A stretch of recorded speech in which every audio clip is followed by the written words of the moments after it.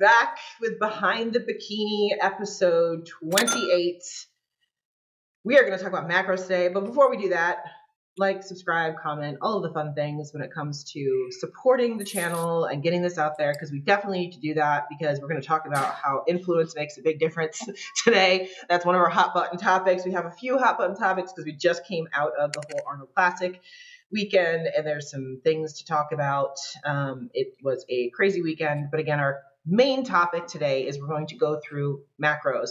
And we're going to actually make this a little like mini series uh, because we found that this is a huge huge question among everybody. Not just competitors but just lifestyle people in general everybody.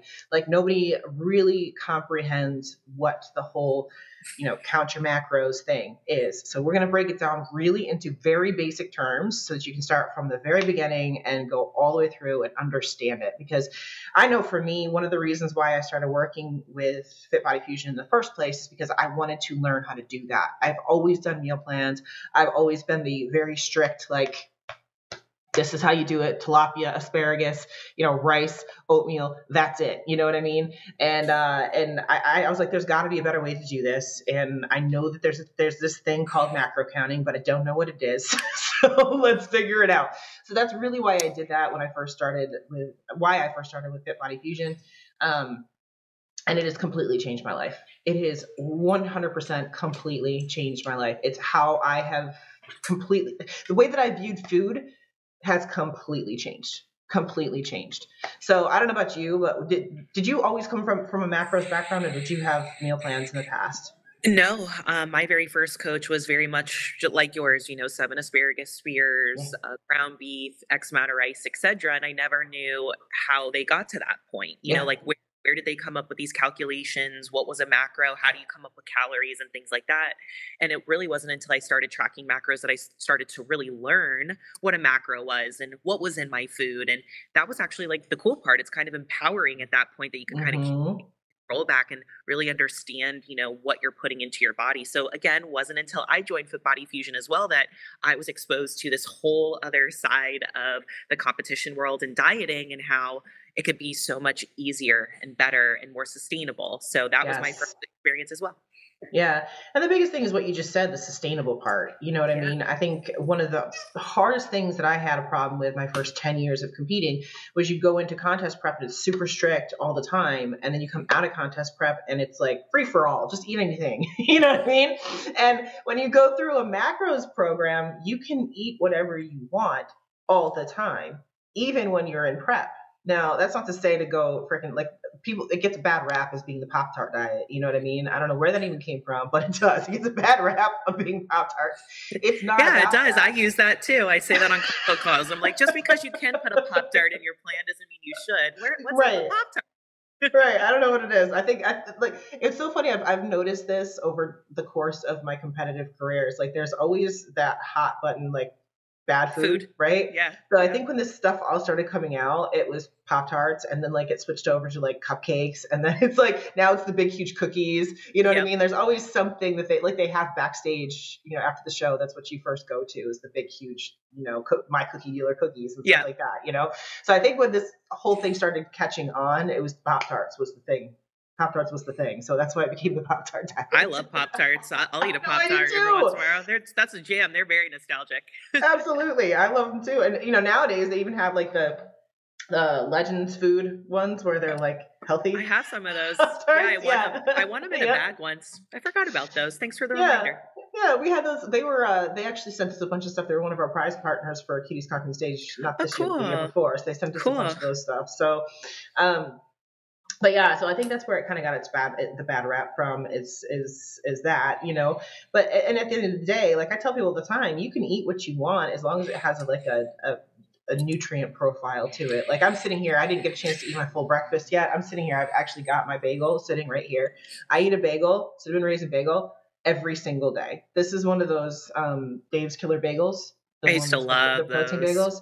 Yeah. Every day. That's my thing. Like, and I ate them all the way through prep. I tell this to, to clients on calls too. I'm like, I literally ate them all the way up until peak week. I said, I just pulled them out on peak week because it's processed. So, right. you know, it's as, as it's, it's close to being a whole food, but it's not. because it is processed. It's you know all that kind of stuff. So in the last the last week, I would go into you know cream of rice and things like that instead, but um, which is processed too. but whatever, it's a little less, a little less processed. Um, Absolutely. um, just a little bit easier to control. Because the other thing too, you got to remember that um, you know nutri- nutrition labels, if the food has gone through this kind of you know baking or whatever it might be, is not 100% accurate. So um, those are all part of it too. Um, anyway, that was a little tangent. Uh, the the point being is that when you learn how to do this kind of stuff, it can completely change your relationship with food. You know, we've talked about this several times even before I was in bodybuilding, I was modeling. So it was like you just you just starved yourself. That's what you did. You know, I don't know if you ever did the master cleanse. The master cleanse. Nope. I heard. I've heard of it. Yes. It's the cayenne pepper and lemon lemon juice and maple syrup, and you live on that for twelve days. And it, yeah, I did it several times. Wow. Yeah, it was not. It was. It was. It was not good. It was not good. I, that, I would be we, walking around like a zombie and hangry. Um, mm, just well, stay out of my way. About it, that. because I did it so many times. The funny part about it is, if you made it through day three, at that point, then everything was cool. Was cool. Like the first three days were rough because you're yeah. Li- yeah, you're literally living on maple syrup. Is basically what you're living on. so bad. The things that we the things that we thought were okay. Diet I mean, culture. A lot, yeah, and a lot of people still do. A lot of people still do think those things are okay. You know what I yeah. mean? And they're just not. They're just not. They're, the cleanses and stuff like that do not work. They don't. They just don't work. So I think some of that has to do too, you know, uh, maybe you experience this as well. Like when I transferred from my first coach who was very heavy on the meal plans and like, you know, seven asparagus beers do, do, do, do, do, to macros, mm-hmm. it almost felt wrong, right? It yes. almost felt you were cheating on a yes. diet. Um, so it's it's that mental switch as well, where I see a lot of athletes, you know, that come from a coach like that, then they come to me or you know start doing this macro based diet, and they're like, this just doesn't seem seem hard enough. Like, is right. it is it right? And it's like it doesn't have to be that hard right. especially in an off-season setting now in a prep setting you know like you know you said you'll you'll track macros all the way up into your until you know peak week and whatnot some of my clients can some of them don't i have to put yeah. them on a meal plan eight weeks out or give them specific sources that they have to hit eight weeks out um, so uh, there's there's different ways to approach that but the ultimate goal is in an off season like it gives you so much flexibility that it almost seems wrong but yeah. it just so helps that mental component that got you there in the first place with that restricted right. diet and that's exactly right because when I first started it, that's exactly how I felt. I was like, this can't be, this can't be it. Like this can't. like I've done this can't, for ten years. This yeah. can't be it. Like it's just like. But you know, I also trusted the process. I knew I'm like, I know there's people that do it this way. There's got to be this. This has to work at the same time. As wrong as it feels, at first because I have that happen a lot with my my clients now. It's like they're just they just don't understand how this can be possible. You know what I mean? And I'm like, it's it trust me, it is. I said there are no bad foods. I have to tell the girls every every day. I'm like, you can eat that. It's okay. You know, you right. can have that. It's not it's not against the rules. And that right there, as soon as you can make that flip in your brain of there's no bad foods, whew, makes such a huge difference such yeah. a huge difference in everything because all of a sudden you don't go into this restrict and binge, restrict and binge, restrict and binge kind of thing. Your brain doesn't hate you when you eat something bad or whatever it might be because there is nothing that's bad. You can have everything in moderation. You know, I go back to you know just being at the Arnold this past weekend. I brought the majority of my food with me, but I also grabbed food where when I had time to, you know, and, and I still was able to fit my macros. You know, I still was able to eat. I was able to go out and have drinks at night with the girls, you know, those kinds of things. And it was fine. Now, again, you don't, you don't want to do just like, okay, well, my alcohol, alcohol fits my macros. So I'm going to, I'm going to drink all day long. You don't want to do right. that. You know what I mean? Right. But it's okay to have everything in moderation. It is yes. okay.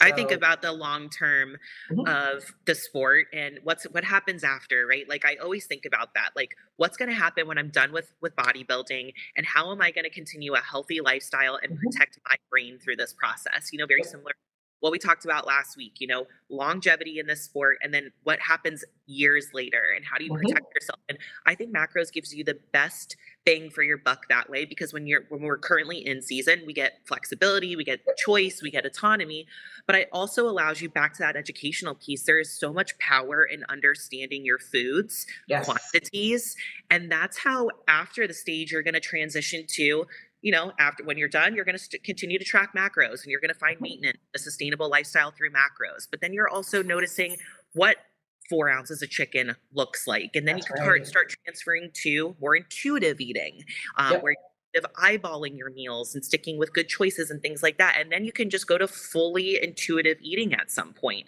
But it's hard to to do that when you don't really have the education of what's in your food how much etc and that's where you know the, the, weighing on the scale and you know looking at um, food labels and things like that to some people can be very restrictive or right.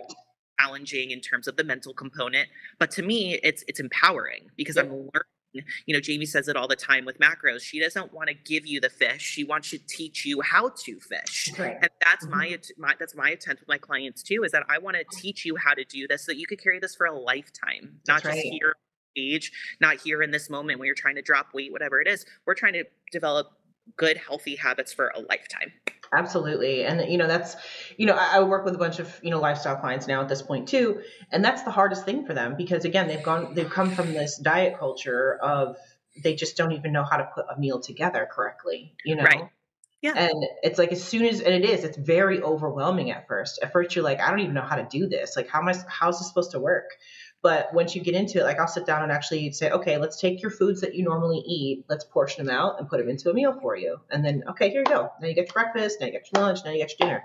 All the same foods you were eating, we just portioned it correctly. We just put it together correctly for you so that you, you're getting a full rounded macro base for your, yes. for your actual meal today or actual intake today. It makes it a lot easier. Makes it a lot easier when you do it that way. So yes. let me pull up the screen share and we're going to go through it really, like I said, basic, basic stuff. So for those of you that, those of you guys that have never done this before, you can get an idea of what we're looking at, what we're doing and everything like that. So it's the mystery of macros and what is a macro. So first question is, what is a macro? So what, just, just give me your, your definition of what a macro is.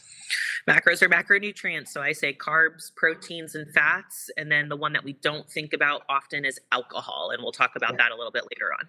Mm-hmm. Yep, absolutely. So here you go. That's right there. So it's it's short for macronutrients. Macros are the larger source of nutrients in the body that, that the body needs to actually function. Macronutrients are a group of nutrients that provide your body with energy and the components that it needs to maintain its structure and functions. Just like Jordan said, carbohydrates, fats, and proteins, um, and alcohol. Alcohol is its own macro. And again, we're going to go into that.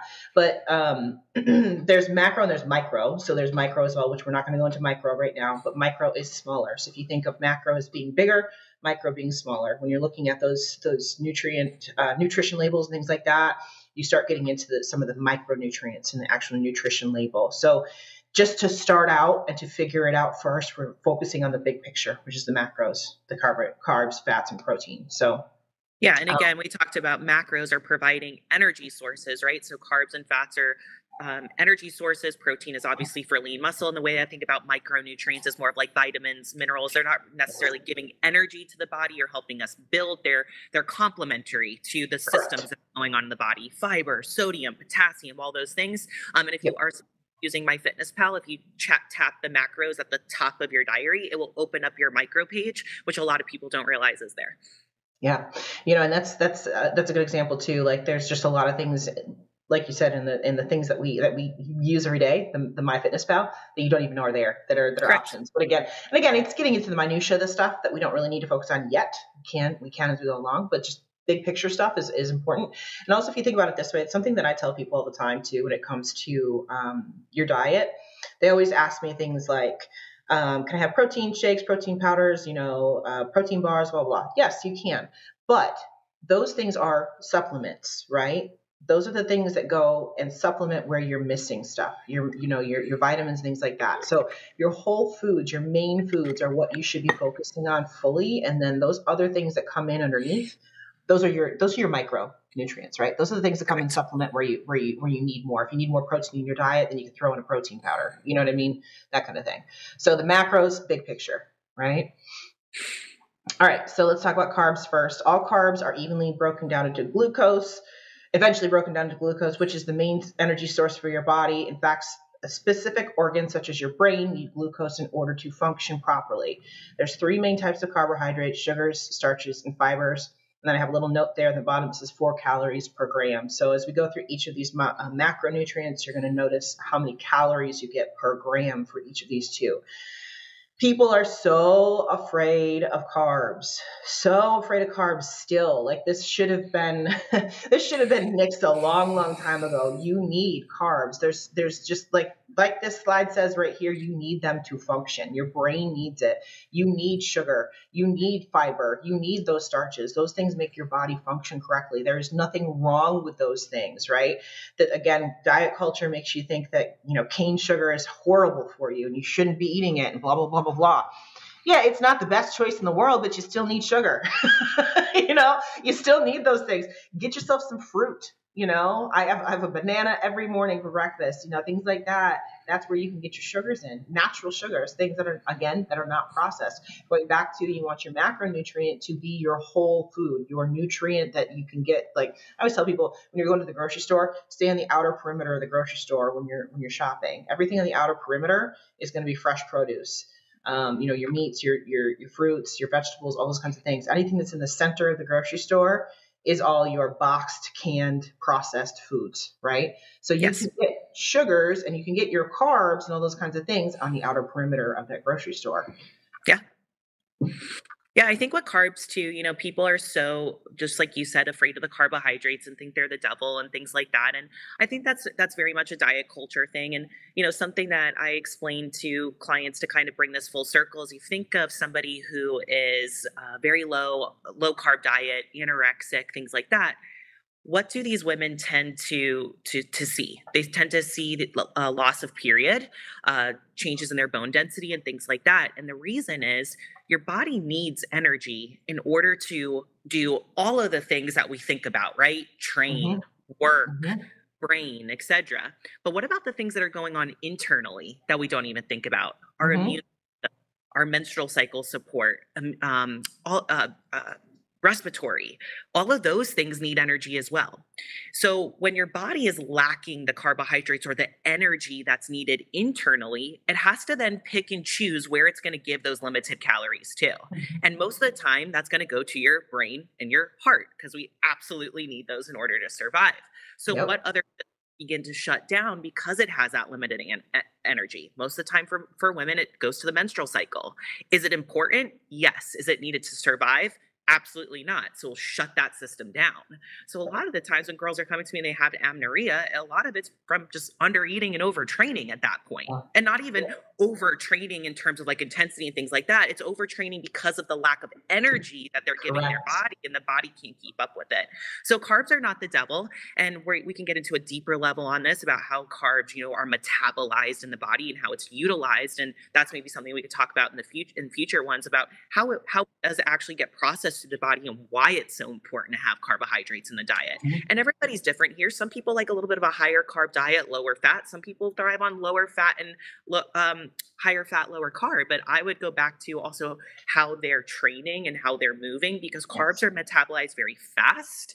Fats mm-hmm. are very, very slow to to metabolize. So those are those are all the deeper things that, that a coach gets into with the client and the athlete with their intake form and what their goals are and things like that but yes carbs are extremely important for the internal systems just as much as everything else that you think about that you need mm-hmm. energy for as well yeah, and that brings up a good point too. Um, I was just talking to a client the other day. She was talking about how her workouts were suffering and things like that. I'm like, well, I can't push you harder on your workouts because you're not eating enough.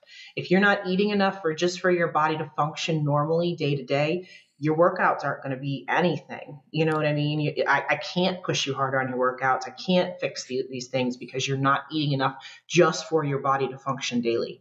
Yeah. You know, the, the, and like you said, it goes it goes into those those essential places versus working for you. Um, and then I also want to mention because I just realized now that I've got the screen share up, I know it says my I'm screen I'm sharing my screen and it's right over top of the four calories per gram. Yeah. So yep. I can't fix that at the moment. But what I'll do is I'll put that and I'll put each calorie per gram um, measurement into the de- description box here in the, in the um, and it's pretty simple to remember. For every one gram of carb, you're getting four calories. Same mm-hmm. thing with protein. For yep. every one gram, you get four calories, and fats is double. For every one gram, you yield nine calories. So that's just yep. an easy way to think about it. And that's how you get your total calories that you're consuming, right? right? So if you tell someone I'm on an 1800 calorie diet, how do you get that that that measurement? How do you get mm-hmm. to that It's because right. you come up with the amount of carbs that you're consuming in grams. Let's say it's 50, then you times that by four, and then you get the X amount of calories. And then you mm-hmm. add those up for your protein and your fat, and that's how you get your total calories consumed for the day. Right. And I and we're gonna go into a little bit of a macro split later, but also since we're since we're talking about this right now, that's why a lot of people tend to go towards a higher carb diet versus a, a higher fat diet because you have more volume of carbs versus you do fats per gram of and per calorie, that kind of thing. So if you think four grams of carbs versus nine grams of fat, that's a that's a much higher volume, double the volume, right? So it keeps you fuller longer. That's why carbs are great. Mm-hmm. so you know, while fats will keep you satiated and things like that, it's not a lot of food.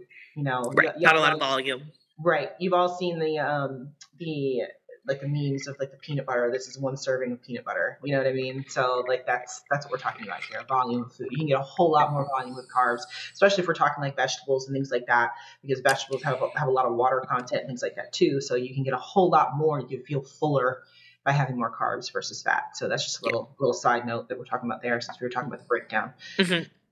Um, let's go to fats. Okay, so we're on fats now. So Nine, uh, nine calories per gram. Obviously, we just mentioned that. So, it's fat allows you to store energy, cushions organs, makes certain hormones, absorb fat soluble vitamins, and helps with cell membrane integrity. Um, there are three types of fats: trans fat, saturated fat, and unsaturated fat. Um, and we were just talking about this. A lot of times with the fats, it's it's more about just the like the brain function, the hormonal function. Like we talk about this all the time. When girls go on these these low fat diets for prep it's a really, really bad recipe for hormonal health. Um, and that's what we're talking about losing the periods and things like that too. So you, really should not be dropping your fat under, um, you know, what is it, 30 grams of, of, of fat, 20 grams of fat for a, period, a, a, longer period of time. If it's like a couple of weeks, it's not a big deal if it's a couple of weeks. But if you're going low, low, low for a long, long time, it's bad. It's not good. It's not good for anything. You start looking. Not only do you do you, does your internal health suffer, but you got to remember, like your skin is your largest organ on your body, and you're going to start looking like you are malnourished um, if you see somebody that's impressed, I see this a lot um, when girls are like in these Facebook groups and things like that, and they're questioning their prep protocols with their with their um, with their coach, and they're asking about this kind of stuff. And I'm like, well, what I can see from just looking at you is your skin looks yellow, you look sallow, you know, your hair looks really brittle, you're you know, you just don't look healthy. That to me is an indicator that person is not getting enough fat in their diet. Again, going back to a lot of people have villainized carbs a lot of people also villainize fat, the low fat diet craze. I mean, you know, we need fat. Fat is a good thing, especially as females. We really, really, really need fat, you know. Um, I don't do particularly well on very high amounts of fat just because that's just me. That's just how I am. But I also don't do well on low amounts of fat either. so again, there's there's there's a balance there. And and some people love the keto thing. I don't like the keto thing personally. Um, but you know, if that, if that, work, if that works for you, cool. But it's just not my thing. Um, so I think again, going back to with the fat, there's a, there's a balance there with that too. Yeah, and I I don't like to get under thirty percent of body weight for for fats, but there are yeah. preps where we have to. You know, 25, 25 is like, mm-hmm. ooh, we don't want to be here too long, but yeah. sometimes we have to. You know. Yeah. Um, but yes, fats are extremely important, especially in a hormonal phase, right? Like post show, like I try to get my girls' fats up as soon as I can. You know, especially if they had amenorrhea during prep or lost a cycle. So, mm-hmm. but apart from that, you know, in bodybuilding, if we're taking just the bodybuilding aspect, now again, we talk about how carbs are metabolized and how fats are metabolized. With bodybuilding, we need quick energy, right? Yeah. So you do, yeah, you do yeah. a set, you you know, eight to 12 reps, whatever the case is, and then you rest and you're trying to recoup those energy levels. And you do another set of eight to 12 reps. Carbs are the better source for that because they're broken right. down a lot faster. Yep. Where fats, it takes, let's say, double or triple the amount of time to metabolize and yield energy than it does a carbohydrate. Now, mm-hmm. where can a higher fat diet for an athlete be eh, be appropriate? A marathon runner right? Yeah. They're running really, really long times. Um, you know, one hour, three hours, whatever. The half marathons go for what? Sometimes eight hours. That's where fats are, are needed. Yeah, it's yeah. No thanks. I'm not like I, you guys know. I'm not running unless I'm being chased. But yeah. but that's where you start to think about okay, so I need to fuel my body correctly for the activity that I'm trying to achieve, right? Um, so while fats take longer to metabolize, when they do metabolize, they do yield more energy. It just takes a longer, consistent energy expenditure to get there.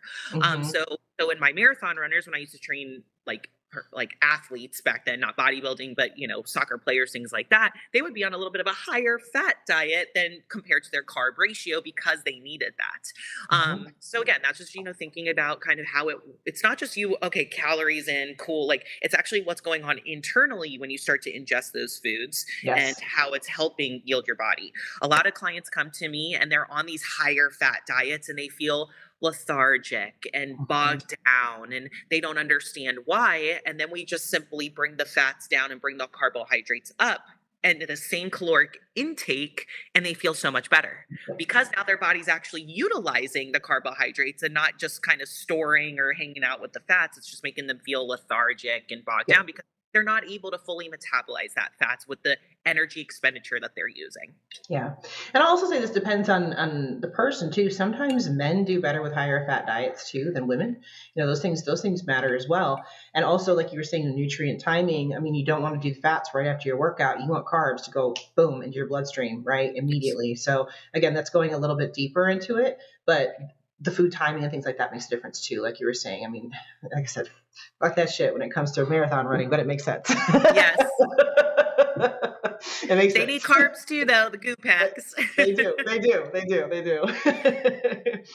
All right. So then we have protein, which is, you know, as us for us as bodybuilders, this is a big, big deal, right? So um, protein allows your body to grow, build, and repair tissues, and protect lean body mass.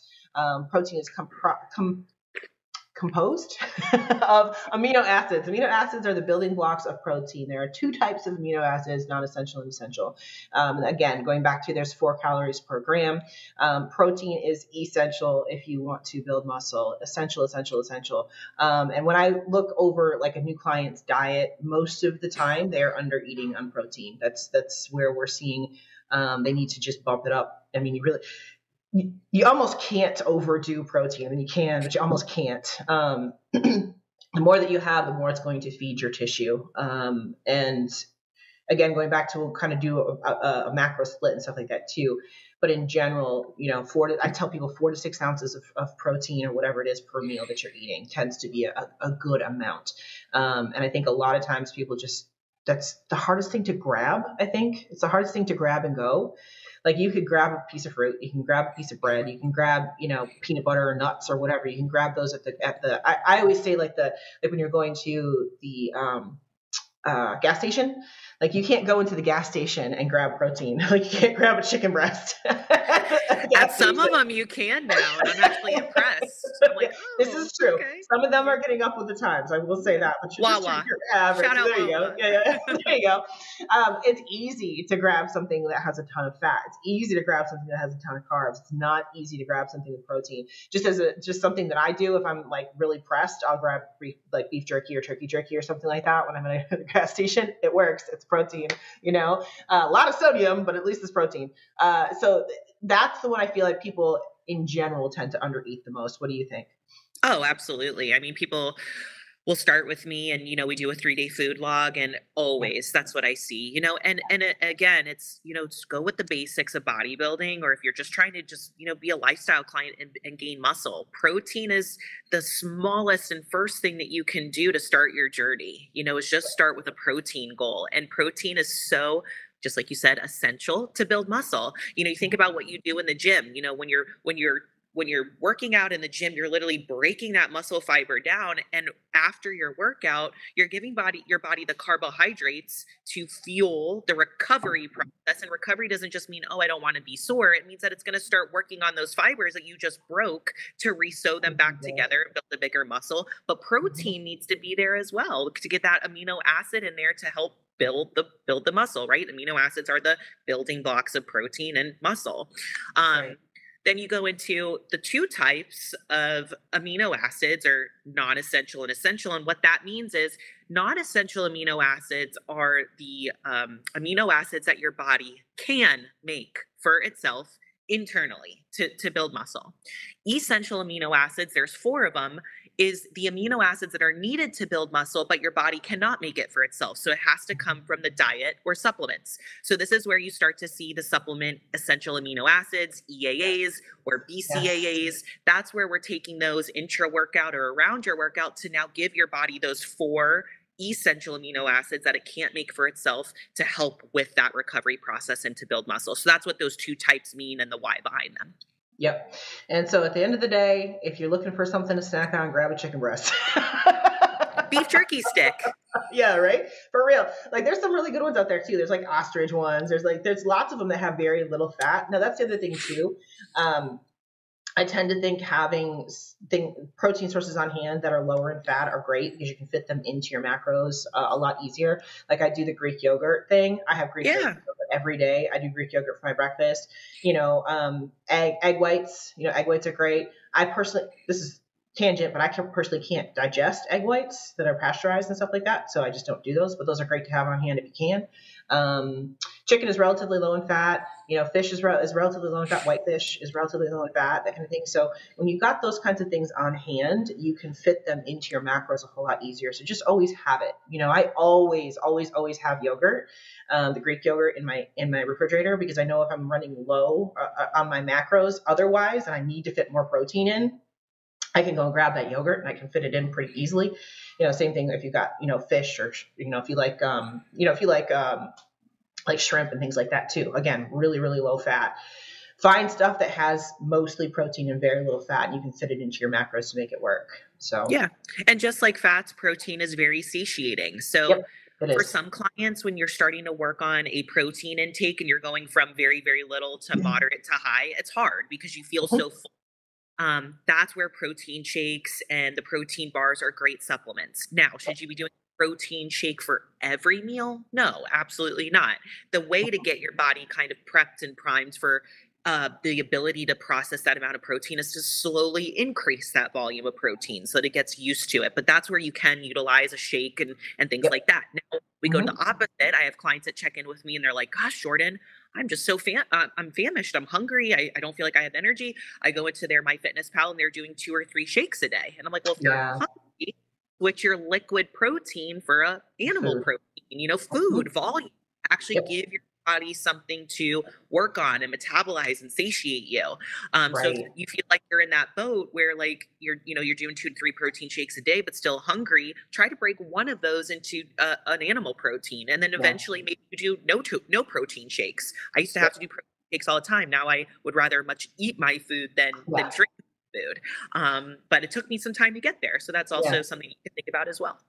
Well, that's something I, I, never understood. Like, there's a lot of coaches that put their clients onto protein shakes for prep, and I'm like, how? I'm like, you have right. so little. Yeah, I'm like, you have so little little calories to begin with. I'm like, why do you want to drink your calories? Like, I want to eat as much as I can. I utilize the protein powders and things like that when I'm in off season because I need to get more food in, you know, and I just gotta I just gotta get it in. You know what I mean? And like you said, I'm like it's it's it's a good way to get it in, but it's not satiating. It's easier to, to digest and just go go with it. You're like, okay, we're good to go. At least we got that meal in. You know what I mean? Yeah. I don't I don't no. love protein bars because they're not filling, but you know, like I went dress shopping with my friend on Tuesday and I was gone from the house for six hours. I had a protein bar on me just yeah. in case I hungry. I didn't have to end yep. up using it, but those are the the plate things that I have just in case, you know. That's right. So same yeah. thing. I've always got protein bars in my bag, bag always because I, you know I'm at shows all the time. And the, I was at the Arnold this past weekend. I'm sitting there in the audience for hours. I'm like, okay, I can just pull out my protein bar. I'm good to go. At least I'm a meal in. You know what I mean? And I'm not freaking. And that's a healthy snack that you can reach for as well. Right. Versus through it. Now I'm just going to go eat off plan at this restaurant. No, just have okay. something with you. And I have like anxiety about getting hungry, so I always have like healthy. Me too in case. The most of the time I don't need it, but it's just it helps that fear. So and I and I'm that I'm that person my husband knows. Like I, I get hangry. You know what I mean? I'm like if if I'm getting hungry, you you've got about 20 minutes to put food in me. Because otherwise exactly. I'm gonna turn into a raging bitch until I get food. It just is what yeah. it is. He can always tell when I'm getting hungry. He can always tell. I'm like, I'm so short. I'm like, no. Even like that's where I just out, go internal because if I start yeah. talking, I'm gonna be yeah, we go to shows and stuff, and I'll have like a like we were at the ballet, and I had a freaking protein bar in my purse and pulled it out because I was hungry. that would be me. can't. That would, I can't do this. I gotta. I gotta eat something.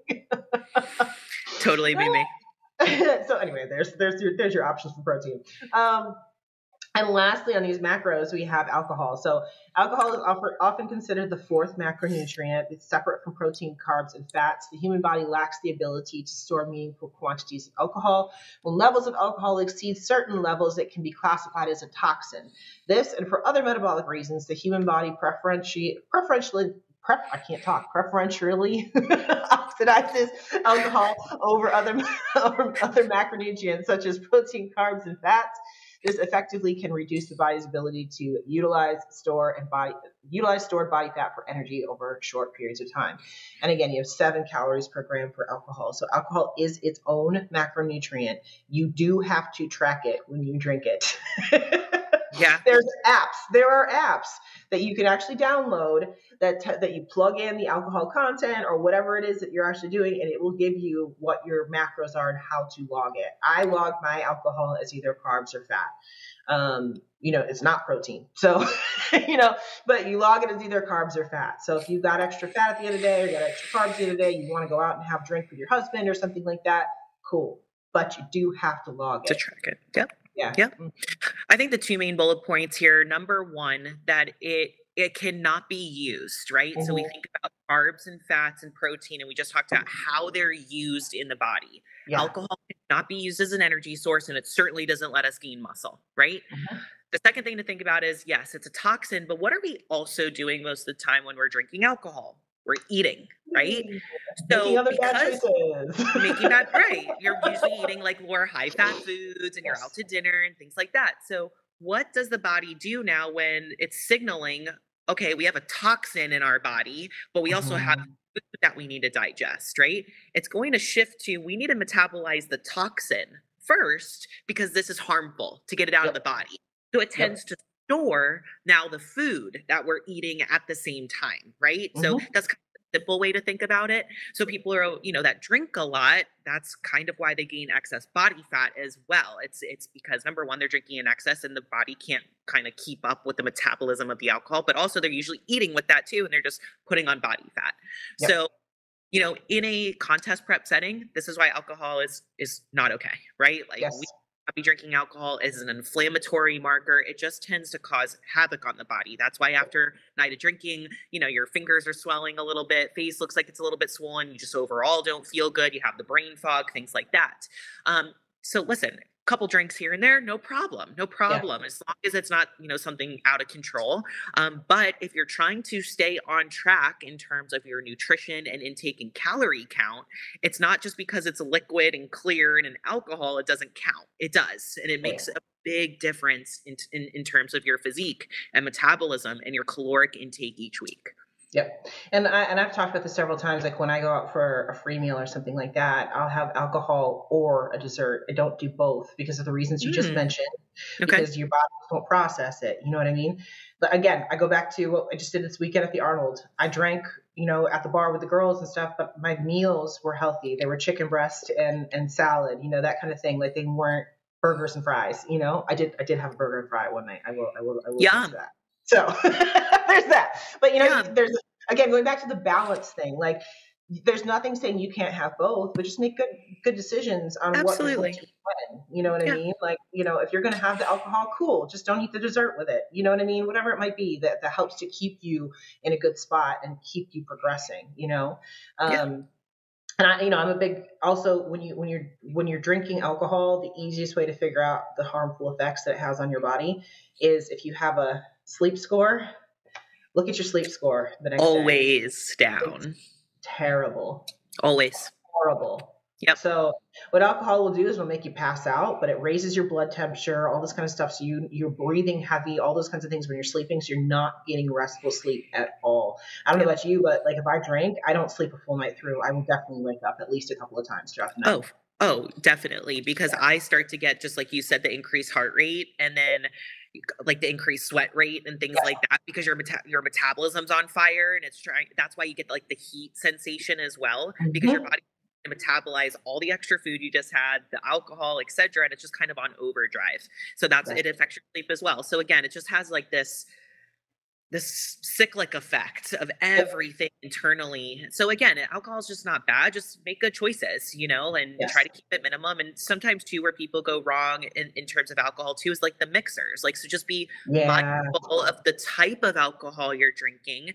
and what you're also then putting into it, right? Because the alcohol right. has calories, but so does the mixers and things like that. That's the sugar and all of that. Yep. yep. Now my, my thing is either do red wine or I do vodka soda. That's it.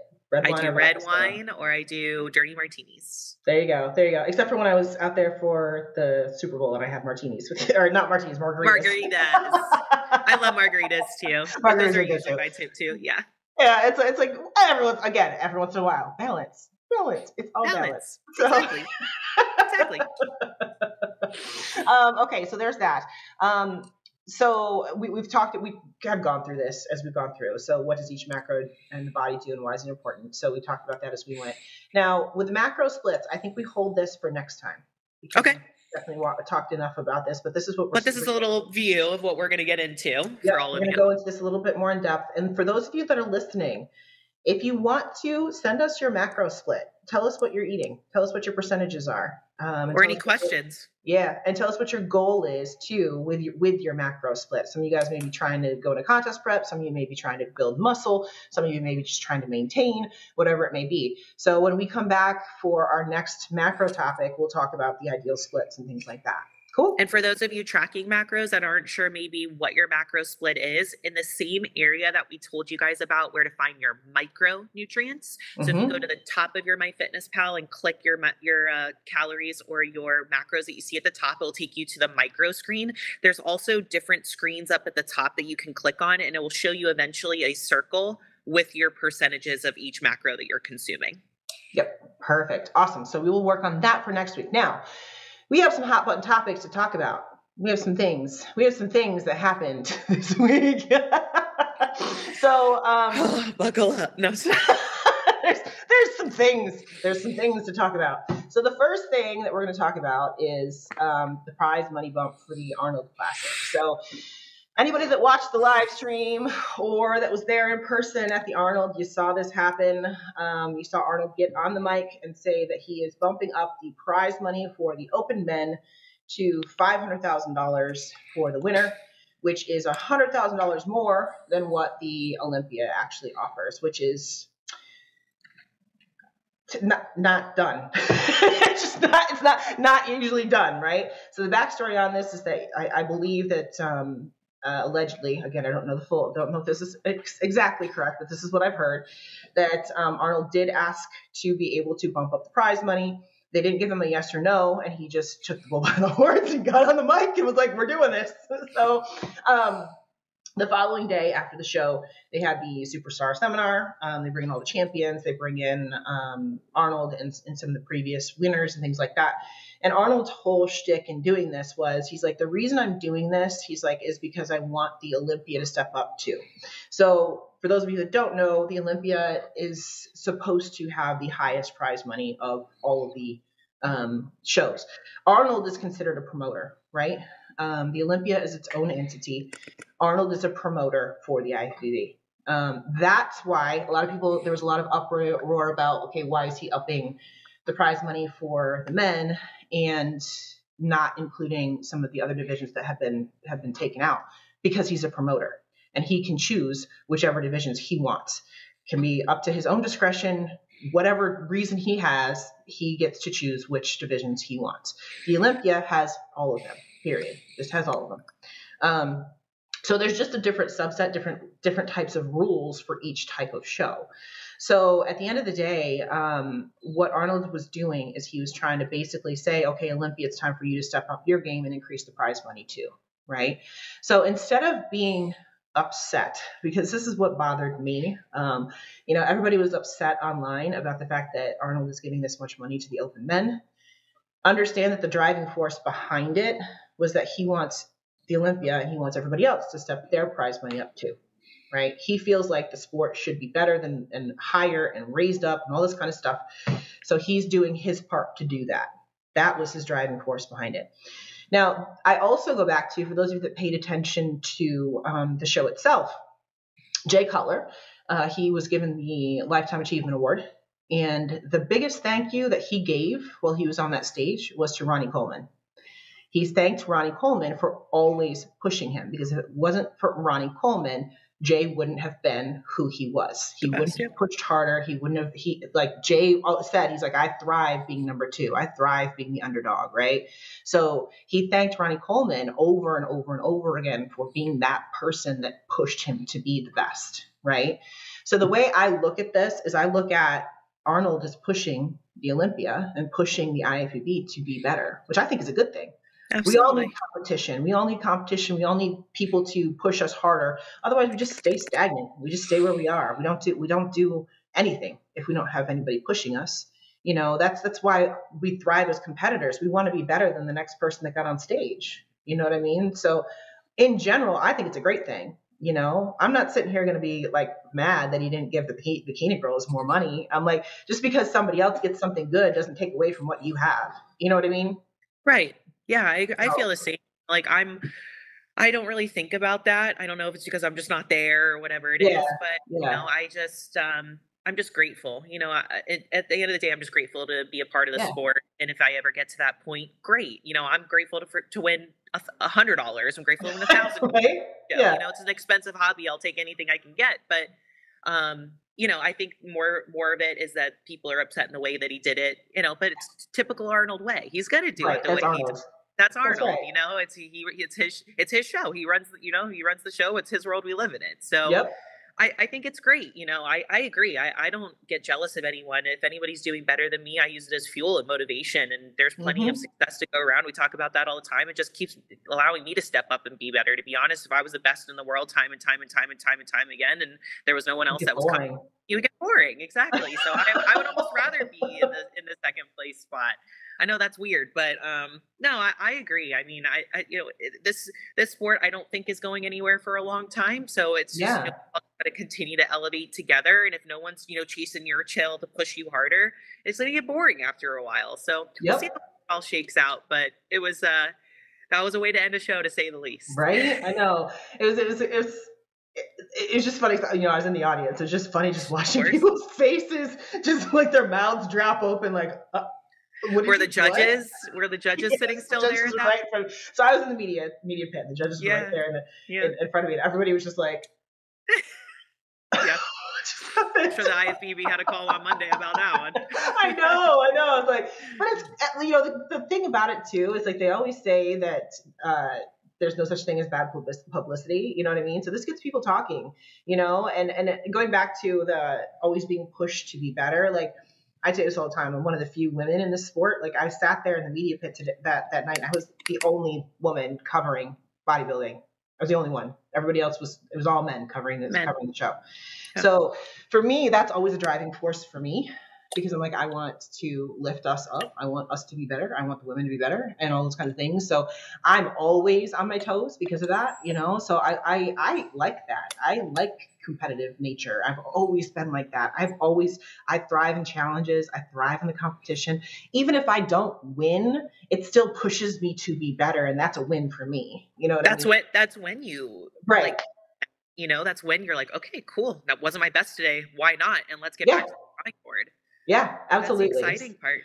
So for me, it's exciting. You know, when you go back and you look at like the 80s and 90s and stuff, you know, bodybuilding was on ESPN and it was on all these big, you know, network show like networks and things like that. I want that again. You know what I mean? I want to see this sport evolve. You know, like I, I think it can be so much bigger than what it is. You know, yeah. like like we talk about this too. I just talked about Jay Cutler. Most people outside of the bodybuilding world don't even know who he is, and he's one of the biggest stars he's in amazing. our sport. You yeah. know, he's one of the biggest stars in our sport. People don't know who he is. You know, we say Jay Cutler and they think of the the, the football player, right? Yeah. Um, Chicago, whatever the, the Bears or whatever the hell. Um, I don't even know. Me neither. like go I know sports. Jay Cutler. Right. I go sports. I know Jay Cutler from bodybuilding. I don't know Jay Cutler from football. Jay Cutler from football. right? I think um did you did you get an email about them trying to start a documentary for the Olympia this year? I saw that. I saw. I didn't get an email. I, I might have. I didn't check. I saw I, that. I'm not posted. sure if it's email now. I can't remember where I saw it. I'll have to try to pull that I up. But posted I, on Facebook. Okay, I want to say I that Tim Gardner posted.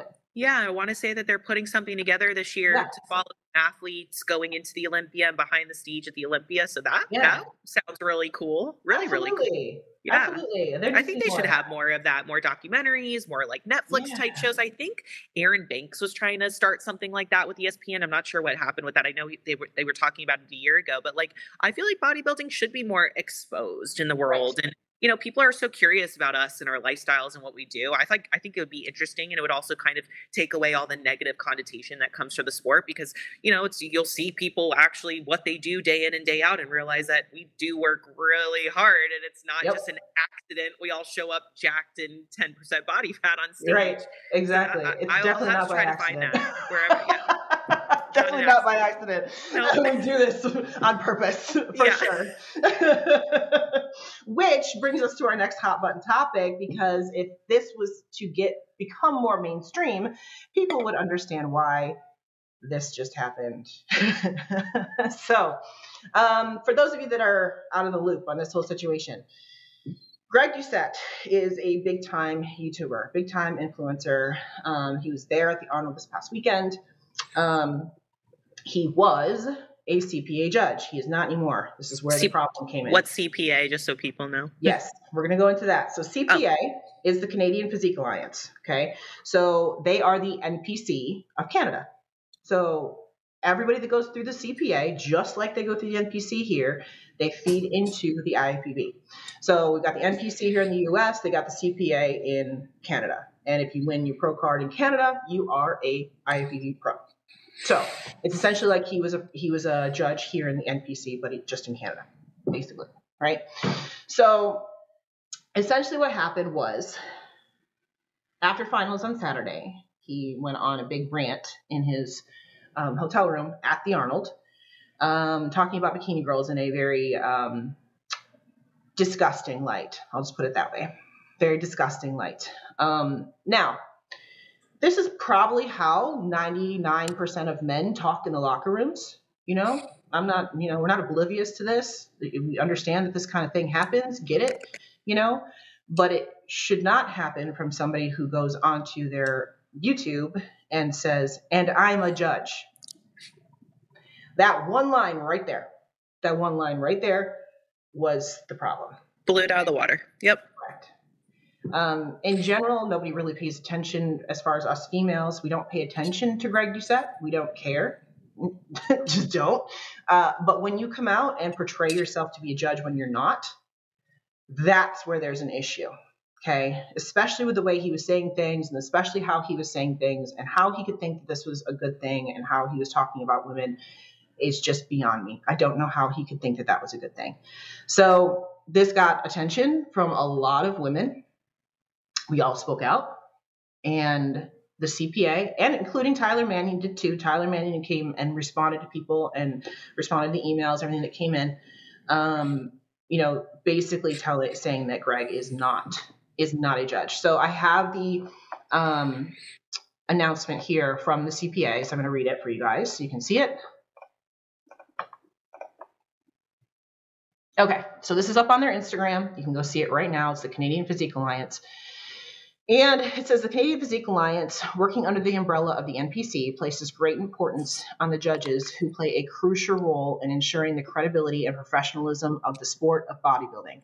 It is essential for judges to uphold high standards to ensure fair competition and maintain the trust of athletes and fans alike. In response to the situation involving former CPA judge Greg Doucette, it's important to note that he no longer holds a position as a regional judge for the CPA. Following his unprofessional conduct in using the credibility of judging system for his own personal gain, he was removed from any future judging opportunities within the organization in June of 2023. He continued his continued actions with his recent rants are further proof that his removal was warranted as they undermine the integrity of the sport and compromise the fairness of competitions. It is crucial for judges to remain professional, impartial, and dedicated to upholding the values of their sport without personal gain or bias. Moving forward, the CPA, NPC, and IFBB Pro League remains committed to upholding the highest standards with professionalism and integrity within the sport of bodybuilding by ensuring that only qualified and ethical individuals serve as judges. The organization can continue to promote fair competitions and maintain the trust of all those involved in the sport it is through the dedication and integrity of judges that the sport can thrive and provide a platform for athletes to showcase their hard work and talent. And this is by Ron Hache, who is the president of the Canadian Physique Alliance and Pro League judge. So the fact the fact that the, the CPA actually came out and made a public statement shows you just how bad this was, right? Like the again, the things that he said if I was if I was just sitting if I was just sitting around listening to him talk, I would think he was a disgusting person. Just I would think he was a disgusting person. Um, over sexualizing women, it came across as that concept of well, she deserved it because she was wearing the short skirt. That's what it came across, right? And y'all know what I'm talking about when I say that, right? It was bad. So just as a normal human being, it's a creep. It's creep behavior just it's creep behavior. Um, anybody that says any different, y'all got to check yourselves. That's that's the first thing. As a judge, that should never come out of a person's mouth. And the fact that he kept saying, "This is what how we judge it. This is how we judge it," bro, you do realize that the head judge at the Olympia is a female, right? Wacky. You know, like I just I just don't understand where you can think that this is how the judges think. Like, I, yeah. I don't get it. You know. Well, and some of the things he was, you know, saying too is just almost attacking women as a whole. You know, like some of the things he was referring to that bikini athletes do or things that women do in general. In general. Yep. So it was he was talking very specifically, but it was also very generalized to mm-hmm. female general and yeah and just to your point you know like he was talking about the judges and how they judge it and things like that and p- portraying himself as one of those and right one of the mm-hmm. our, our uh, head female judge in the bikini division is a female is a female right. so yeah so that alone should tell you that this guy doesn't know what he's talking about that alone yeah. i'm like you know i just I've, I've heard these comments for years you know i think we all have you know what i mean and it's like we try so hard. You and I on this podcast, we, like those of us that talk about the criteria, Sandy goes out all the time, Becky goes out all the time. We talk about the criteria and the points and things that the judges are looking for all the time. And that quickly, this guy, just because he has a massive following, can screw the whole thing up. And I'm just like, yep. Uh, I'm like, you kidding? And then not only that, but he doesn't come out and apologize for his words and say, oh, you know, I really should have thought before I did this. He doubles down on it. Right. He keeps going with it, and he's still keep he's still going with it right now. Yeah. It's ridiculous. It is absolutely ridiculous. We as females, we have a voice, and we used it, which was very clear by the appropriate response that the CPA put out. I thought that was incredible that they did that. You that shows you like when you know when when the male bodybuilders start picking it up and putting it on their YouTubes and things like that about what's going on in the female divisions, you know it's a problem. Yeah, because very rarely do they care, right? Correct. So, yeah. yeah. this got a lot of attention and people were commenting and reposting and from all divisions and they were like yeah. this is like they like mm-hmm. bikini is a, just another representation of our sport. It is another division and it deserves the same respect, the same look. And it um Tyler actually came out first, I believe, before the yeah, Tyler, so Tyler was sending was sending replies to emails that were coming in. So, okay. you know, girls were were emailing the, the IFBB and the CPA and things like that about this this happening, and Tyler was responding to them and telling them. Uh, I think it, I actually have that screenshot too.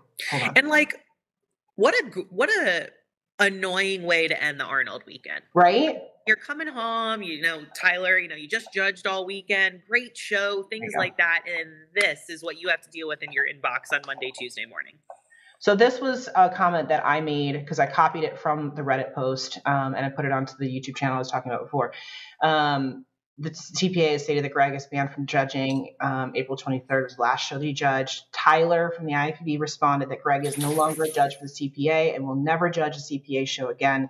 He has known this and is falsely start stating that he's a current judge. We don't tolerate this kind of behavior from any of our judges. That was from Tyler. Yeah. That right there was from Tyler. So again, the biggest problem was was that he portrayed himself as a judge. If he was just some random influencer saying this is how he felt about bikini, that's one thing, right? But when you portray yourself as being a representative of the organization, that's wrong. That's Correct. wrong. You know, Yep. I'm sorry, you can sugarcoat it any way you want. That's wrong. Okay. Yeah. Just as Um, just as meaningful to us in the sport as impersonating a police officer or a doctor. Right. In, in the sport, right? Like that, Yes. like when Mhm. somebody is a judge and they tell us that they're a judge and they're giving us feedback, like we take that as strong and true and honest. And, and so that's where that little sentence just made Yep. it all the difference, you know? That's right. So Absolutely. You know, and, and that's what I said. I sit back and I think, okay, so you just basically lied to everyone. You lied to your followers. You lied to people that that trust you, that are supposed to trust you as a coach, as an influencer, as whatever. You clearly lied. Clearly lied. So how's anybody, anybody supposed to trust you ever? I wouldn't. I wouldn't trust. I wouldn't trust a single word out of your mouth. And I keep going back to there's certain. I, I talked. We talked about this before we got on and started recording today. There's certain things that I don't understand. My husband loves wrestling. Absolutely loves wrestling. He tries to explain wrestling to me all the time. I don't understand half of what he tells me. you know, but I'm not going to sit there and go diss the sport and diss the whole thing because I don't understand it or I don't care. I'm not going to do that. Like I'm just going to keep my mouth shut. If you Yeah. don't like it, if you don't understand the criteria, if you don't understand how the judges are judging the women, shut the fuck up. How Yep. hard is that? Yep. Yep. Yeah, but this is where, you know, platforms uh, give people too much of a right, I guess, to speak Yeah. out. I want to say, I don't know. I know that's not the right way to say it, but it's just, it's, if you don't have nothing, just go back to this simple saying. If you have nothing nice to say, I really, do, I, I always try to put myself in the different lens in situations like this with my clients, when I'm in an argument, whatever. I try to put myself in the, in the opposite lens and I just really can't see here what the point was. Like what, There's no point. actual point, right? Like, Yeah. it, it, uh, and to me, it's more going to be harmful for his platform than anything. Yeah. Really, I'm just I try to understand, and I just don't see it. It's it was very hurtful. It was very harmful. It was very degrading. There was just so many. We don't want to go over the comments here, but you, it, it's all over the place. So if you want to, go find it. It's very Yep. easy. Um, And do do us a favor, don't go watch it on his channel. Don't give him more more views. right, Yeah. Yeah. Don't give him more views. and also too like something i think about just to put another bullet point here is like think of all the the, the judges in the us that we have right we have Mm-hmm. becky we have sandy we have tyler we have etla and none of them post ever like very rarely you know so Mhm. it's just just they you know the, the the great thing was that at the end of last year tyler started putting out those educational videos because Right. people were like asking we want more content from you like tell us a little bit more but it's very structured right Becky Arnold was over, posted about Yes. you know the winners and you know the, what she saw and the one point. Is it's always very educational and very short. Um, so the those are the people that we have to look up to and that matter Right. within this sport, and that's why I'm really happy, just like you're saying, with the way that they handled it. It was Mhm. done in manner. Um, I love that they went very thorough in the communication of what's okay, what's not okay, and what they're doing about it. And that's what we have to hold true and stick to. And I'm really, really proud of the IFBB and the CPA in this situation. I think they handled it very, very well. Absolutely. I was very, very happy with it too. I think I think everybody was. I think everybody was. Because at the end of the day, here's the other thing too. Like because he does not re- represent the CPA or the IFBB, they didn't have any obligation to say anything. They Correct. And that's where I was wondering if they were going to. Yeah. But yeah, did. they didn't have to. yeah, so the they did. fact that they did, the fact that they did should tell you everything. exactly. That should tell you everything. And like- remember, he was already he was already dismissed almost a Mhm. year ago for the context uh, conduct that was similar. Yep. Hmm And we don't know why he was banned in the first place. We don't know why. There's been rumors that gone, have gone around, so we kind of have an idea. Yeah. But it could have been several other things too. We don't know. Yeah. And the fact is, probably when that first happened, they probably kept it pretty private. And they said, listen, this is not okay. This is not something that we do, blah, blah, blah. We're done, you know? Yeah. But he continued to use the platform that he no longer had in order to create authority for himself. Yeah. And that's where this whole rant became a problem. Yep. You know, again, if it was just some dude talking to his camera in the freaking hotel room, nobody would care. Right. Yep. You know, it happens every day. Yeah. The fact that you portrayed yourself as somebody of importance, somebody of re- relevant, somebody of authority, that's the problem. Yeah. That's the problem. You can just be a douchebag and a crew, creep on your own. Cool. Cool story, bro. Good luck with that. You know? See ya. yeah. And you can have all your little creepy ass friends around you. That's cool too. Believe it the hell out of our sport. Yep. Yep. Bottom line. Because we professionals, treat us like professionals, even amateurs. I want you know, you are a professional. Like this is your hobby. Like we put a lot of time and attention into this sport, and um, we should, no matter what, at the end of the day, we just all need to respect each other. You know, Correct. words matter. Absolutely. Words matter. Absolutely.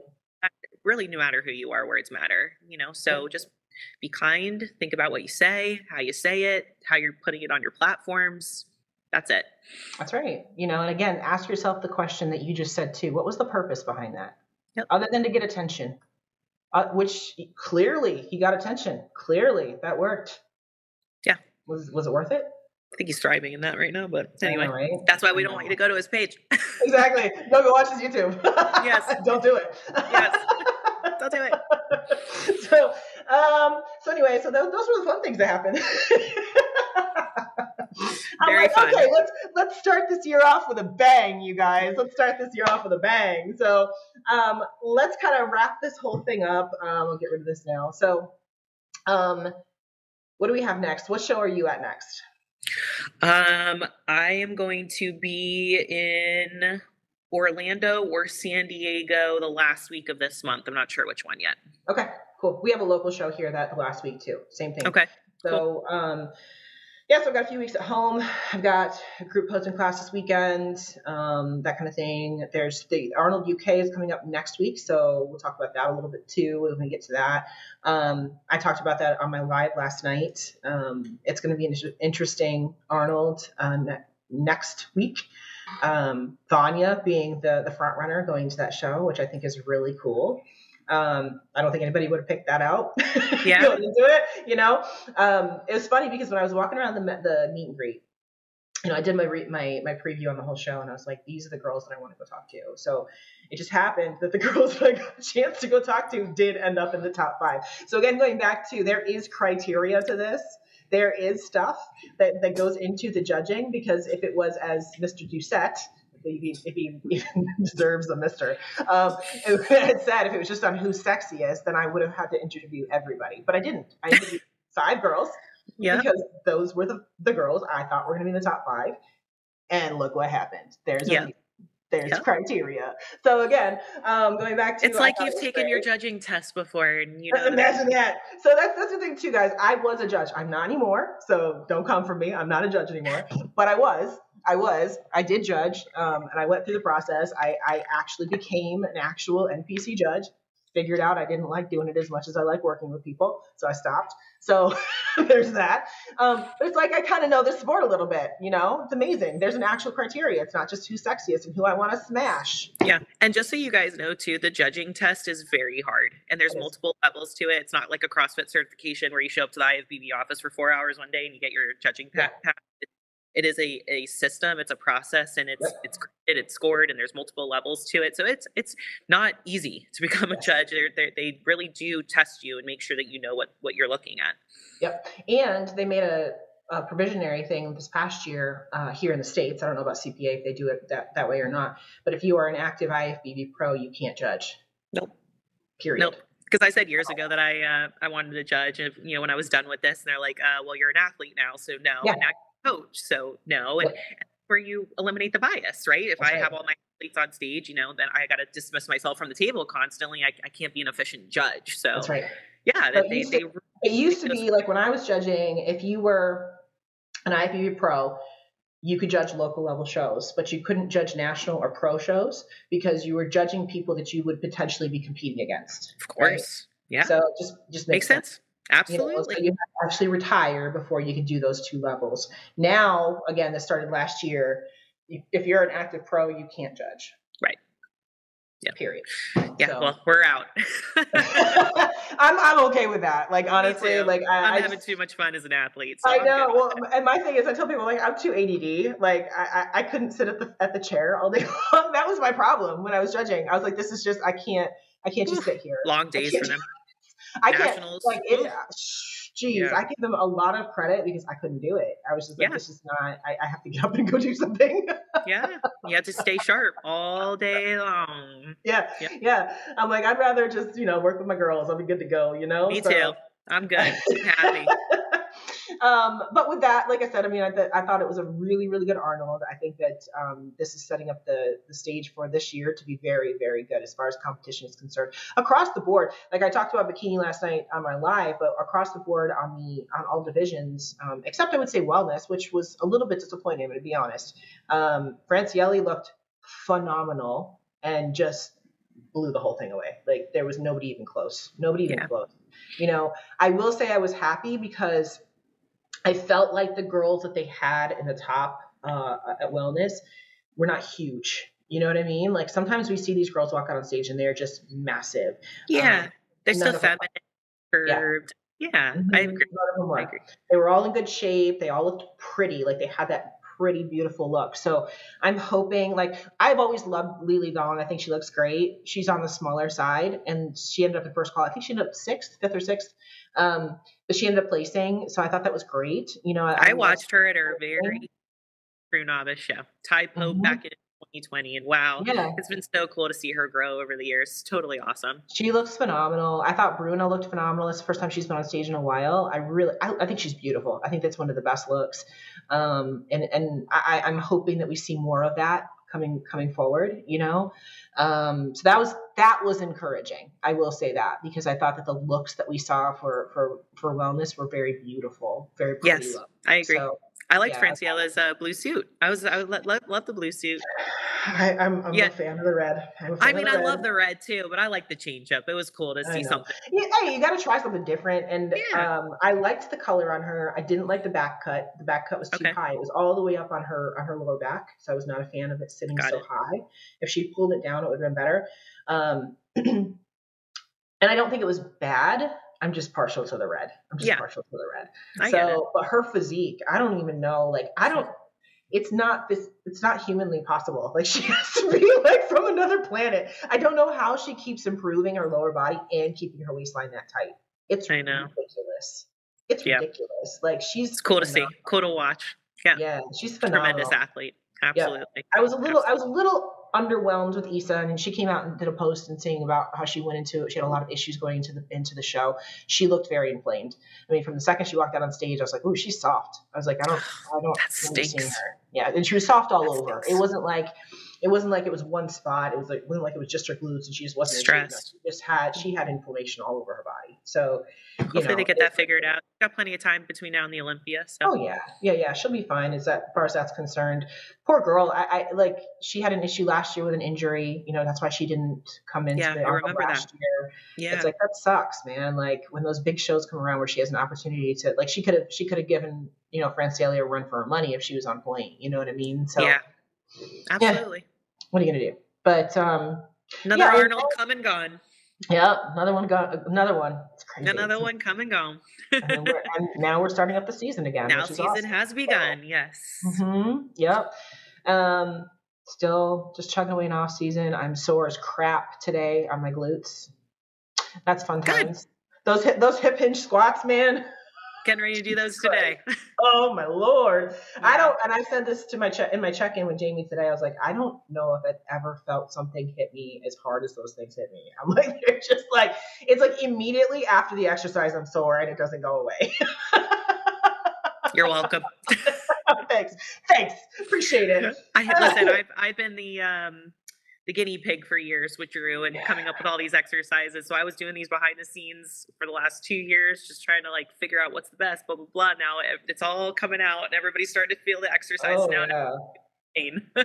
well, like we talked about, so for those of you that don't know, we have coaching calls for Fit Body, um, you know, every Wednesday. So we had one of those yesterday and went through the dynamic stretching and stuff like that that we're going to be implementing with all of our athletes. And, and I've been doing that since I had my assessment with Drew, and it makes a huge difference as far as just being able to target the right muscle and really get in deep and get in where we want to and the intensity and all of that. That dynamics, dynamics, warm ups and stuff are huge, huge. Absolutely. So yeah, doing phenomenal work there.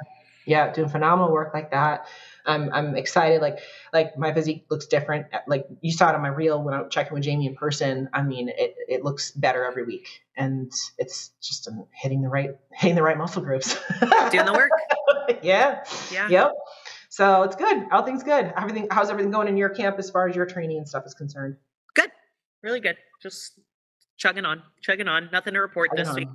Awesome. Well, this was a fun one. Um, we are again, we're going to continue with the macros uh, mini series here. So this is the first one. Hopefully that was helpful for you guys. Um, and again, send in your macro splits if you want us to go over them next week, and we'll kind of dive into macro splits and how they work and how they're beneficial and how you can change them and all those kinds of things. So we'll kind of start diving into that a little bit more. So with that, guys, I hope you guys have a fantastic rest of your week. We'll see you back here again next week for episode 20, 29. We're on 28 right now.